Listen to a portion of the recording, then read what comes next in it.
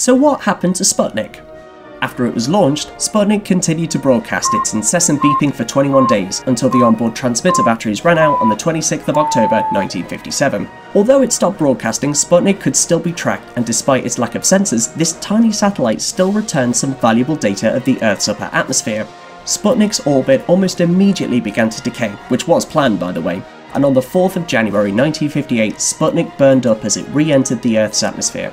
This tiny, highly polished sphere had survived three months in space and completed 1,440 orbits of the Earth and travelled over 70 million kilometres while doing so.